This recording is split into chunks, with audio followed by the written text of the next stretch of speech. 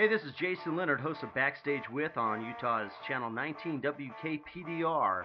Check out Split Lid this Friday night, May 13th at Liquid Joe's, performing with Downfall in Hour 13. Hey, you can get your name on the guest list by texting your full name to 801 879 2449. Hope to see you at Liquid Joe's this Friday night.